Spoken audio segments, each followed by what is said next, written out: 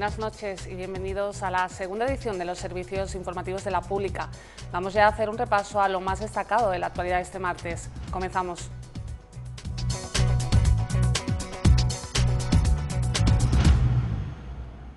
Comenzamos de última hora porque tras la reunión de la mesa de negociación hace escasos minutos ha quedado desconvocada la anunciada huelga de autobuses para esta feria.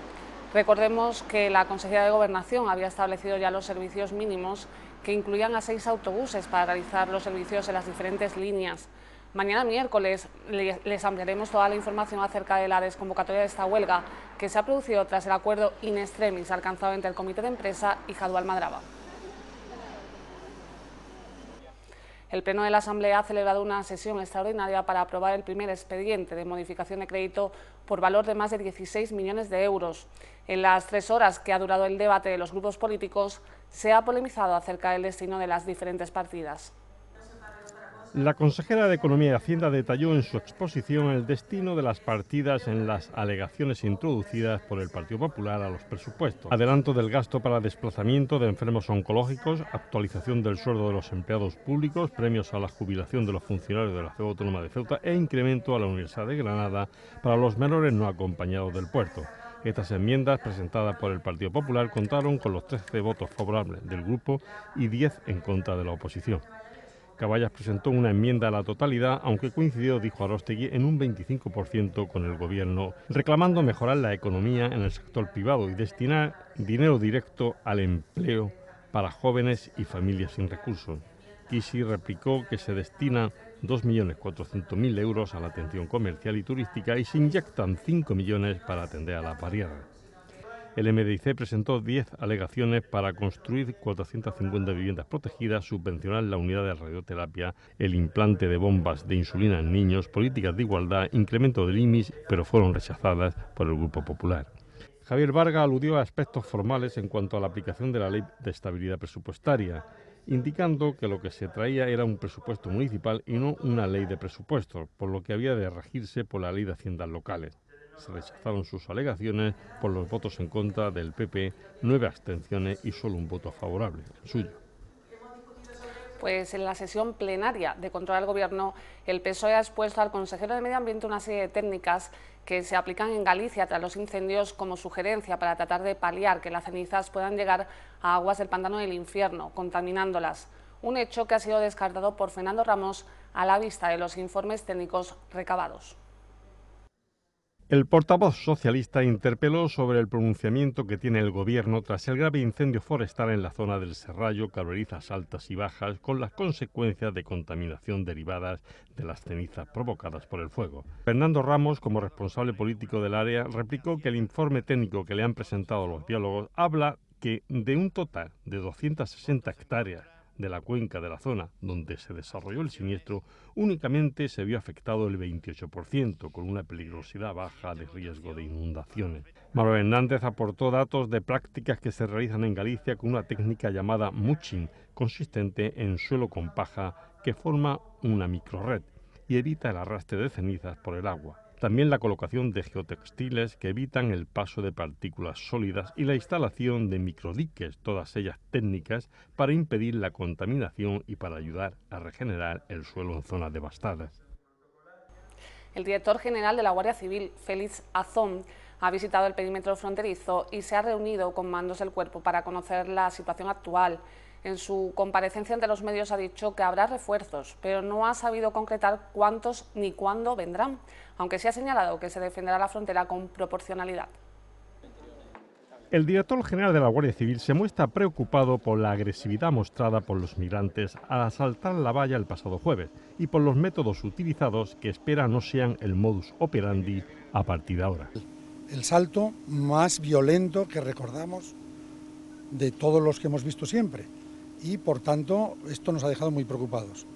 Afortunadamente los, heridos están evolucionando bien y bueno, mm, eso nos tranquiliza un poquito. Obviamente nos preocupa, nosotros confiamos en que esto no sea un elemento accidental y no se convierta en un nuevo modus operandi de quienes pretenden entrar en territorio español. Félix Azón ha querido conocer de primera mano la situación fronteriza para reflexionar sobre las circunstancias y los hechos acaecidos. Po a la situación de crisis económica pasada, la pérdida de 10.000 efectivos. Estamos analizando el problema, estamos tratando de analizar la disponibilidad que tenemos y vamos a traer todos los que podamos. Tengo que decir, no me gusta decirlo, pero tengo que decir que en los últimos años se ha perdido 10.000 operativos, 10.000 personas, como consecuencia de las medidas de mm, las medidas que había que tomar durante la crisis económica. No puede nadie pretender que en una semana o en un año repongamos esos 10.000 efectivos y eso nos obliga a mí a ser prudente. Estamos haciendo un esfuerzo de análisis de disponibilidades para traer más material, pero cuántos y cuándo sería un irresponsable si diera una cifra y una fecha. La delegada del Gobierno ha descartado que se produzca en la actualidad un efecto llamada en la presión migratoria debido a las políticas de su partido. Además, ha recordado que el pasado año el incremento porcentual de la llegada de inmigrantes fue del 170% en relación a 2016 hablando de que esto es el efecto llamada por el Aquarius, en el Aquarius lo que se hizo fue salvar vidas ¿eh? que estaban en peligro y que los inmigrantes mm, han aumentado y van a seguir aumentando como ya se tenía previsto. ¿eh? O sea que, que no queramos sacar eh, en dos meses que llevamos de gobierno o un mes y pico la culpa, echarle la culpa al nuevo gobierno y al efecto llamada por este gobierno. No.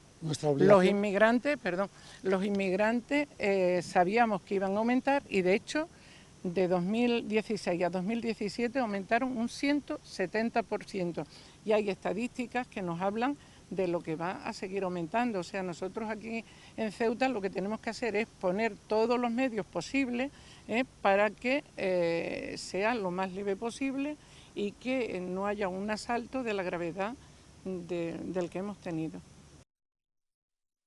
El Ministerio de Hacienda ha informado en el seno del Consejo de Política Fiscal y Financiera de las entregas a cuenta a las comunidades y ciudades autónomas que ascienden a más de 102.000 millones de euros para 2019, un 7,23% más que en el ejercicio anterior. El Consejo ha aprobado los planes económicos financieros de Cataluña, Asturias, La Rioja, Comunidad Valenciana, Murcia, Aragón, Castilla-La Mancha, Extremadura, Madrid y Castilla-León.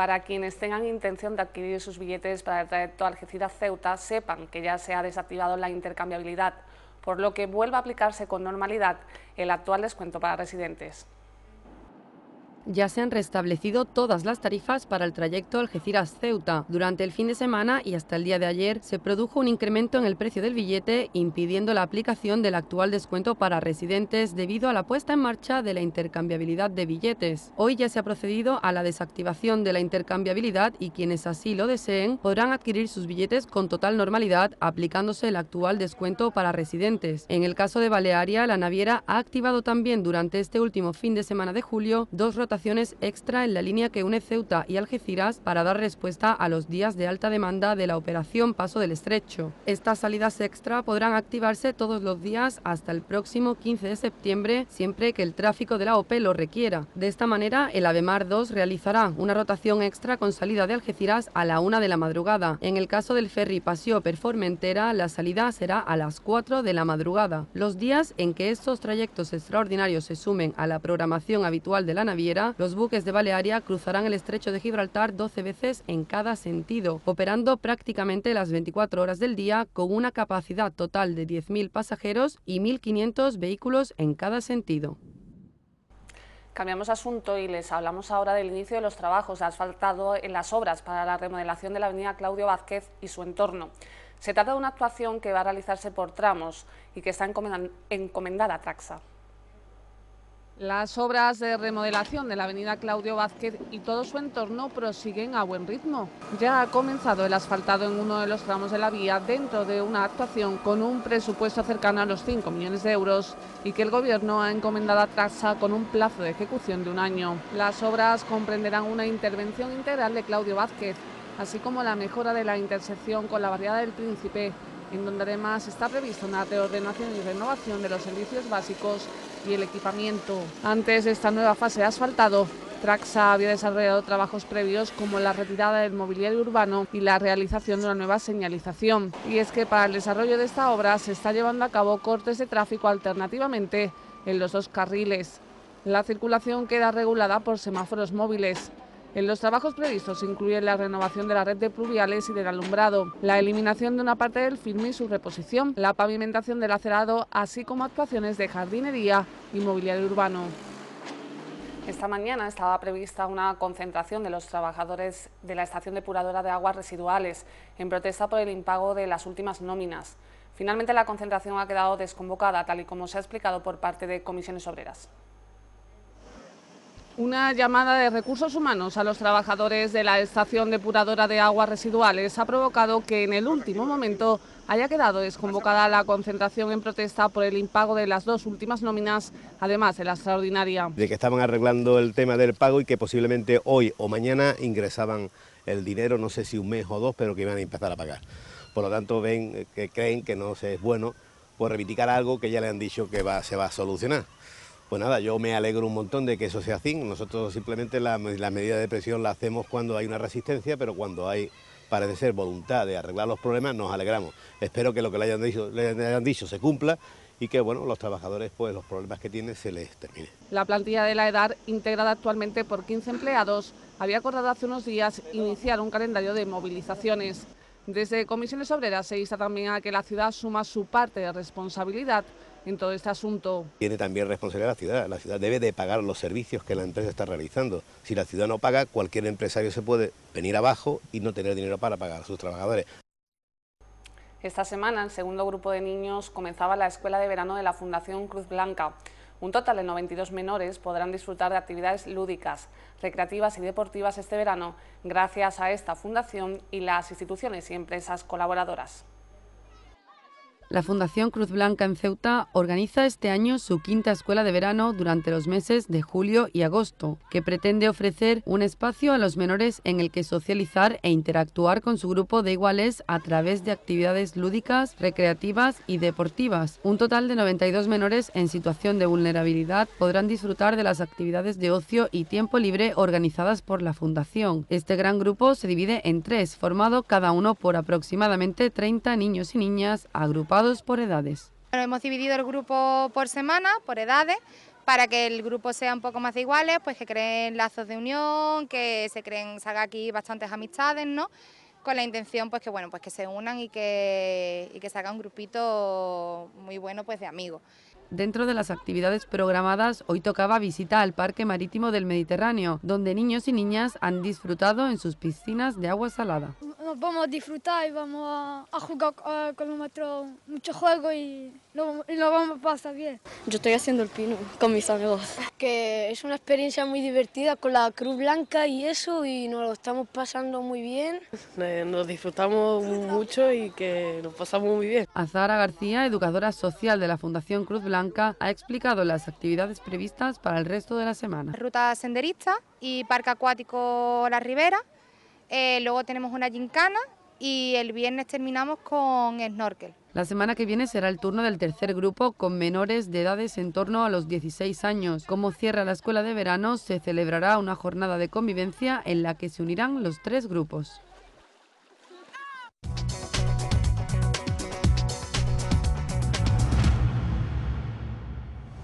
La agrupación deportiva Ceuta se estrenará en la Copa del Rey a partido único y a domicilio el 5 de septiembre ante Lucán Murcia. Los de Juan Ramón Martín, inmersos en la pretemporada, disputarán este sábado su segundo partido amistoso en el campo del Chiclana Industrial. El bombo del segundo y definitivo sorteo de los emparejamientos de la Copa del Rey ha deparado que Lucán Murcia sea el rival de la agrupación deportiva Ceuta en la primera eliminatoria de la competición copera. El azar ha decidido que el conjunto ceutí vuelva a quedar emparejado con un equipo murciano, una vez el primer sorteo, anulado por incluir a dos terceras entre los cinco equipos de segunda exentos de la primera ronda, le hubiera emparejado con el Yeclano de Murcia. Así UCAM Murcia y AD Ceuta medirán fuerzas a un único partido el miércoles 5 de septiembre en el estadio de la Condomina, apenas una semana después de comenzar la liga. La Universidad Católica de Murcia milita en Segunda División B y está entrenada por el exjugador internacional Pedro Munitis.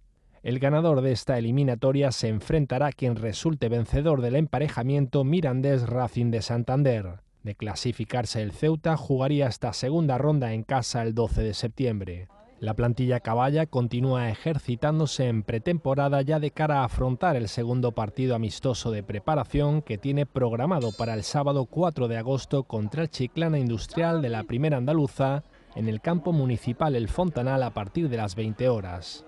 Cuatro días después, los de Juan Ramón disputarán el único partido de pretemporada que hasta el momento tienen cerrado en su condición de local será el 8 de agosto en el Alfonso Murube frente a la Balompédica Linense de Segunda B a las 20 horas. El descenso del Caballa a la segunda división masculina de waterpolo supone la presencia de nuevos adversarios y de un calendario que en cuanto a desplazamientos resulta más complejo. El equipo Ceutí debutará en Liga el 20 de octubre en la piscina del Turia Valenciano. El descenso a Segunda División, las numerosas e importantes bajas registradas y los largos desplazamientos que tendrán que realizar esta temporada son los principales hándicaps que afronta el primer equipo masculino del waterpolo Caballa. La temporada pasada, cuando jugábamos en primera, los viajes estaban más focalizados sobre todo en Madrid y en Barcelona, eran viajes mucho más cómodos. Ahora estamos hablando de que la, logística se complica. ¿eh? Eh, y, bueno, ese va a ser el mayor, yo creo que el mayor hándicap que nos vamos a encontrar la, temporada que viene, el, el, tema de los viajes. El caballa masculino de segunda división debuta en Liga el 20 de octubre en la piscina del conjunto valenciano del Turia. En la segunda jornada, en su primer partido en casa, recibirá el equipo vizcaíno del Portugalete. Los desplazamientos sean los que sean, los haremos, ¿no? Hay muchos, hay tres viajes creo que son a Valencia, Navarra, Portugalete, Madrid hay otro, Barcelona, o sea, que Andalucía ahora no lo tenemos aquí cerquita, pero bueno, los, viajes son es lo de menos. A la hora de entrenar al primer equipo, Lorena Miranda parte con la ventaja de haber compartido horas dentro y fuera de la piscina con los actuales componentes del combinado Ceutí. A todos los conozco bastante bien, ¿no? los que llevan más años son los más veteranos y amigos míos ¿no? de hace muchos años y bueno, los chavales jóvenes también los vamos conociendo ya de, de hace tiempo y son los que hay que ir motivando, ¿no? incorporando a ese equipo. Una de las bajas más sensibles de la escuadra caballa, Paco Molina, que jugará esta temporada con el Pescara italiano, avala la elección de Lorena Miranda como entrenadora del primer equipo. Lorena es una entrenadora de la casa, así que yo creo que conoce tanto los chicos que se quedan como los que puedan venir de fuera, que terminen de estudiar o los que vayan a venir. Así que yo creo que la andadura de caballa por segunda no será de más de un año, espero también eso y señala que ahora más que nunca hay que trabajar decididamente con la base para sacar nuevos talentos. El Deportivo Ceutí, encuadrado en el grupo 17 de la Tercera División Nacional de Fútbol Sala, se, estrenará en el Campeonato Liguero a domicilio el 15 de septiembre en la pista del Pozo Blanco. A la siguiente jornada, en su primer partido como local, se medirá a otro adversario cordobés, el Bujalance. La competición regular finalizará el 18 de mayo. pues tras una discreta actuación en su participación en Portugal, Olga Parres empieza a obtener buenos resultados en su gira por España. La tenista Ceutí fue semifinalista en Don Benito y ha alcanzado el cuadro principal en el Open Villa del Espinar. Parres será también una de las raquetas destacadas en el torneo femenino ITF que se disputará en Ceuta en septiembre. Después de alcanzar las semifinales en categoría individual en el torneo femenino de tenis de Don Benito, un torneo ITF con premios de 15.000 dólares, Olga Parres progresa en el Open femenino Villa del Espinar ITF de Segovia tras meterse en el cuadro principal de la competición. Tras su gira por Portugal y España, la Ceutí disputará en nuestra ciudad del 10 al 15 de septiembre un torneo internacional femenino ITF valedero para el circuito de la UITA, cuya dirección técnica corre a cargo de su entrenador Francisco Bernal. Casi 20 años después de haber organizado un evento de estas características y con la participación de 48 jugadoras, se celebrará en las pistas del Club de Tenis Loma Margarita la cuarta edición, dotada con 15.000 dólares. El ITF eh, 15.000 dólares que lo organiza la ciudad, nosotros como federación somos los colaboradores, participamos como colaboradores y posteriormente tendremos un campeonato de, Ceuta de dobles, en modalidades dobles para todas las categorías y ya en la primera semana de octubre empezaremos con el, quinto memorial Mustafa Mechran, Open Ciudad de Ceuta, y en la que este año pues, hemos conseguido meterlo dentro del circuito nacional IBP Uniuso Tenis Series con la colaboración de la Real Federación Española de Tenis. El circuito femenino ITF lo conforman una serie de torneos de tenis administrados por la Federación Internacional de Tenis para jugadoras profesionales. Se considera el circuito de desarrollo previo a la UITA,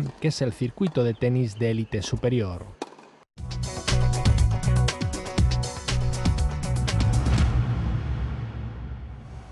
Vamos a ver el tiempo para los próximos días. Mañana tendremos cielos nubosos. Las temperaturas oscilarán entre 21 grados de mínima y 30 de máxima y el viento soplará suave de levante. Y el jueves tendremos un día soleado, aunque con cielos parcialmente nubosos. Las temperaturas muy similares con una máxima de 30 grados y una mínima de 22. El viento continuará de levante.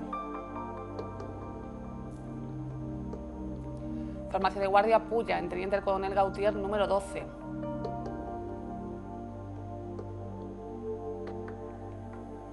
Y el número premiado en el sorteo de la Cruz Roja Silor 099.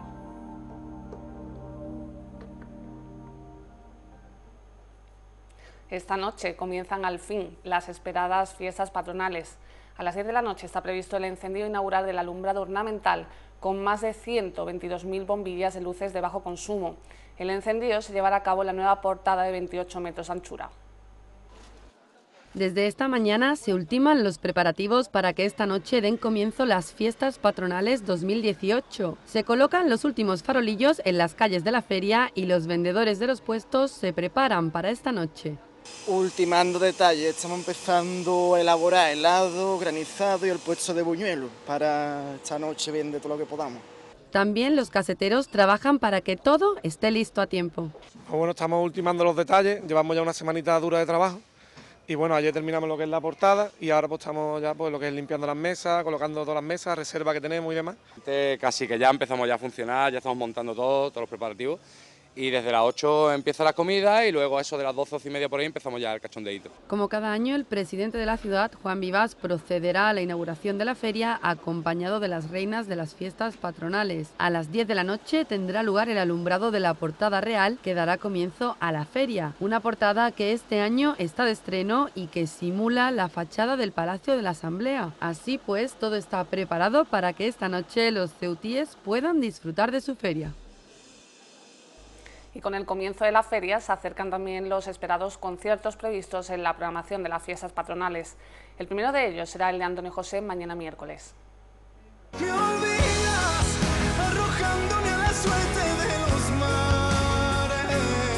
Las entradas para su concierto se agotaron apenas unos días después de que se pusieran a la venta. Antonio José será el encargado de inaugurar los conciertos que se celebrarán en el escenario central del auditorio en las fiestas patronales. Tendrá lugar el miércoles 1 de agosto a las 12 de la noche. David Bustamante se subirá a este mismo escenario el jueves 2 de agosto, concierto para el que ya se han vendido más de 700 entradas. Con nueve discos publicados a sus espaldas, Bustamante es hoy uno de los grandes artistas nacionales con una importante proyección internacional. En su visita a Ceuta, el cantante recordará los grandes éxitos de su carrera musical, además de sus últimos temas y el viernes 3 será el turno del musical La Dama y el Vagabundo, cuya dirección y creación es obra de Pepe Ferrer y Geli Peñalver. Tanto para Bustamante como para el musical aún quedan localidades disponibles. Las entradas pueden adquirirse en la página web de la ciudad y en la taquilla del Auditorio del Rebellín.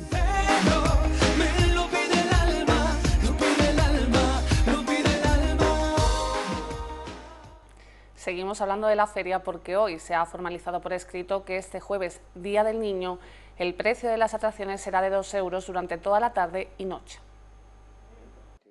El área de fiestas, la Asociación de Feriantes de Andalucía, Ceuta y Melilla y los empresarios que no están inscritos en esta entidad pero que participan en la feria han acordado por escrito que este jueves, Día del Niño, el precio de las atracciones infantiles, familiares y de adultos será de 2 euros durante toda la tarde y noche, es decir, de inicio al cierre de la actividad mientras que las atracciones para adultos de recorrido único y con un máximo de 16 plazas, el precio será de 3 euros en el mismo horario, lo que representa una rebaja de entre el 25 y el 30% sobre su precio habitual. Con la firma de este documento, los empresarios del sector se han comprometido a mantener estos precios y a colocar el cartel informativo del Día del Niño en un lugar bien visible de la taquilla de cada una de las atracciones.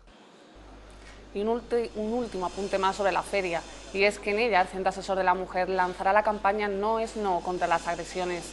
Es por ello que van a distribuirse 5.000 abanicos y 200.000 servilletas con mensajes que llevan impresos los teléfonos de ayuda, así como información de utilidad para las víctimas.